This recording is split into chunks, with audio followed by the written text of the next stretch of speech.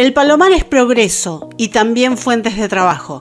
Te invitamos a firmar el petitorio para exigir a las autoridades la pronta reapertura del aeropuerto de El Palomar. Jueves 14 de enero de 18 a 20 horas. En las estaciones de El Palomar, José Cepaz, Morón y Bosch. También en Ramos Mejía, en Avenida de Mayo y Rosales y además en Avenida de Mayo y Belgrano.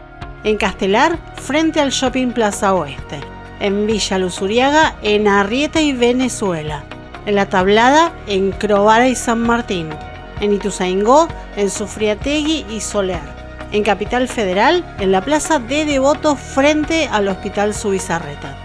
Para conocer todos los puntos de recolección de firmas, ingresa a la página fmtrans.com. Invitan Banquemos al aeropuerto del Palomar y FM Trans 103.9.